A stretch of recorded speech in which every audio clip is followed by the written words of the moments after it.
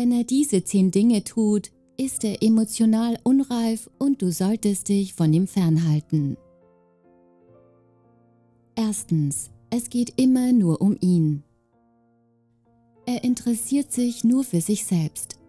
Er sorgt immer dafür, dass seine Bedürfnisse gestillt werden, während ihm die Menschen um ihn herum eigentlich gleichgültig sind.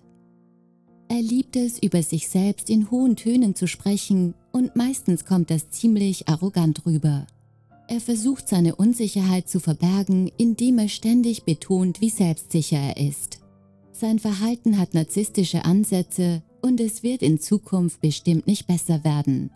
Wenn du mit jemandem zusammen bist, bei dem diese Beschreibung zutrifft, dann lauf weg, so schnell du kannst.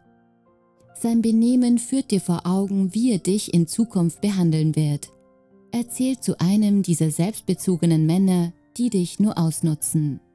Vermutlich wird er Psychospielchen mit dir spielen und dir versuchen zu vermitteln, dass du dankbar sein solltest, mit so einem Macker wie ihm zusammen sein zu dürfen. Zweitens, er sagt das eine, aber macht etwas anderes. Er wird dir den Himmel versprechen, er wird dir die schönsten Märchen erzählen, aber er wird sie niemals mit Leben erfüllen. Er wird bei leeren Versprechungen bleiben, denn wenn es darauf ankommt, etwas in die Tat umzusetzen oder etwas in die Beziehung zu investieren, wird er still dasitzen und nichts machen. Unterm Strich kann man ihm nicht trauen. Wenn er schon zu Beginn eurer Beziehung so ein Verhalten an den Tag legt, wird sich auch in Zukunft nichts großartig ändern.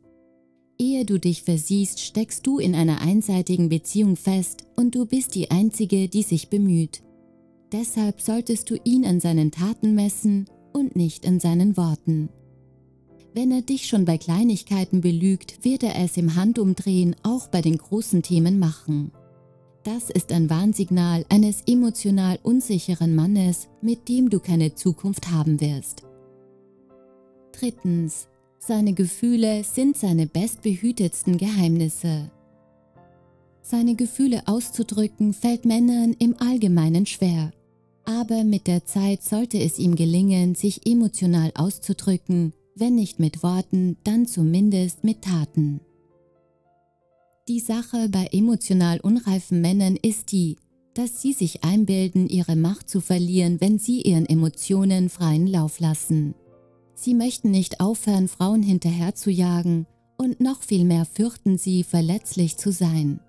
Sie haben Angst davor, verletzt zu werden, wenn sie sich jemandem öffnen und anvertrauen und aus diesem Grund verbergen sie ihre Gefühle. In den meisten Fällen würde ein offenes Gespräch für Klarheit sorgen. Aber mit einem emotional unreifen Mann ist Kommunikation schwierig. Solange er kann, wird er geschickt dem Thema ausweichen. So unreif er auch sein mag, wenn er wirklich Gefühle hat, dann werden seine Handlungen für ihn sprechen, auch wenn ihm der Mut fehlt, seine Meinung zu sagen.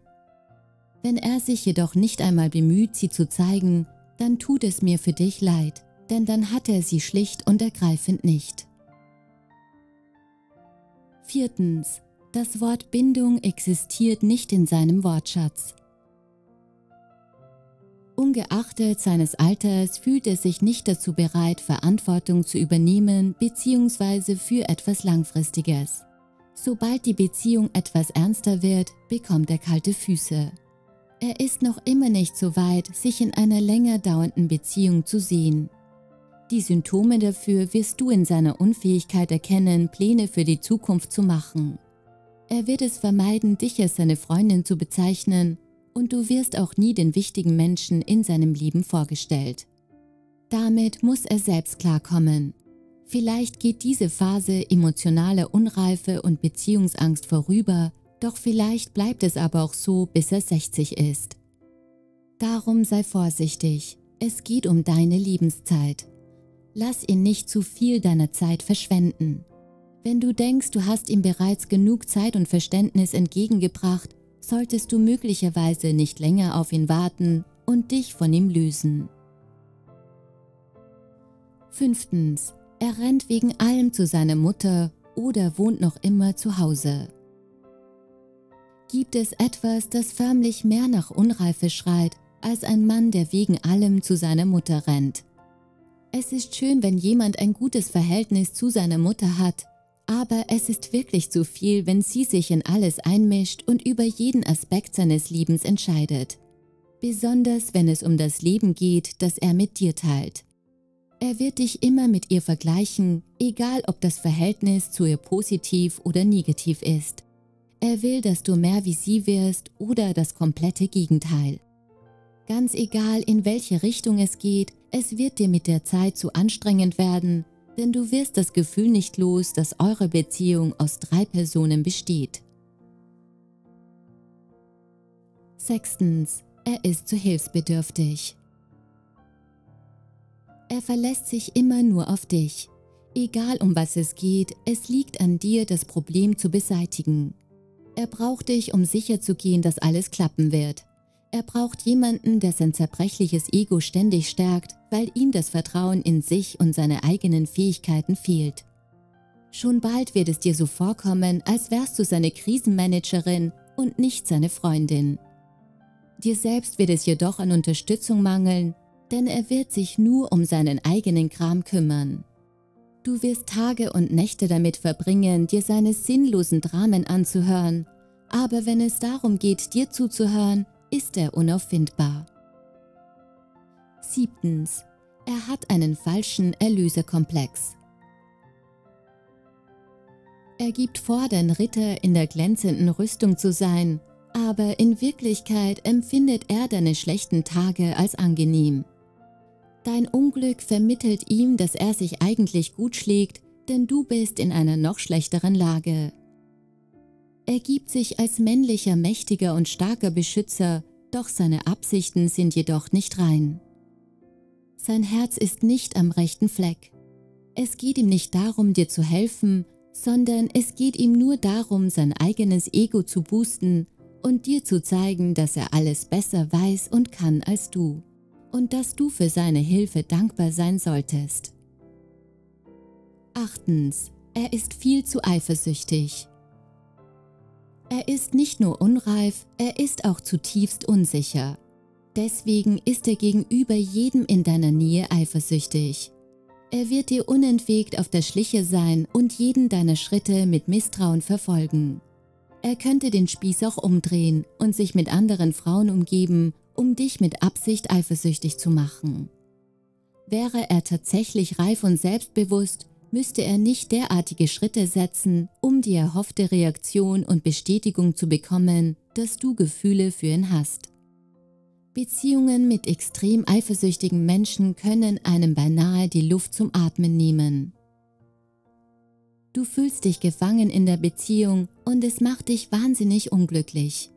Eifersucht ist ein Kennzeichen eines emotional unreifen Mannes. Er hat einfach kein Vertrauen in sich selbst, daher kann er auch dir nicht vertrauen. Zu versuchen, dich eifersüchtig zu machen, stinkt förmlich nach Unreife. Ein reifer und selbstbewusster Mann würde niemals zu solchen Mitteln greifen. 9. Er geht allen ernsten Themen aus dem Weg. Unreifen Männern mangelt es meistens an Kommunikationsfähigkeit. Gespräche mit ihm sind meistens locker und lässig, solange bis ernstere Themen angesprochen werden. Er kann mit offenen und ehrlichen Gesprächen nicht umgehen. Wenn er dir nicht zuhören will, woher soll er wissen, was in dir vorgeht? In Wahrheit kann er es natürlich gar nicht wissen. Der Schlüssel für eine gute Beziehung ist eine ausgewogene Kommunikation. Das hält jegliche Art von Beziehung zusammen und verbessert sie, besonders in einer Liebesbeziehung. Doch leider ist er zu unreif, um das zu wissen. Deshalb wird eure Beziehung auf der Strecke bleiben und sich nie weiterentwickeln. Zehntens. Er übernimmt nie die Verantwortung. Er ist niemals der Schuldige und sein Weg ist immer der richtige. Ein Mann, der keine Verantwortung für sein Handeln übernimmt und nie anderen zuhört oder die Meinung anderer anerkennt, ist völlig unreif. Mit ihm wirst du keinen Schritt nach vorne machen. Er würde eher die Opferrolle spielen, als zuzugeben, dass er einen Fehler gemacht hat. Alles wird immer deine Schuld sein und du bist der Sündenbock. Ein unreifer Mann wird sich nie einen Fehler eingestehen und du wirst wohl nie ein Es tut mir leid hören. Wenn dir dieses Video gefallen hat, findest du meine zwei Bücher auf Amazon. Der Weg zurück zu dir selbst. Finde deine innere Stimme. Und im Kopf des Narzissten. Schlage ihn mit seinen eigenen Waffen. Du findest die Links unten in der Beschreibung des Videos. Vielen Dank.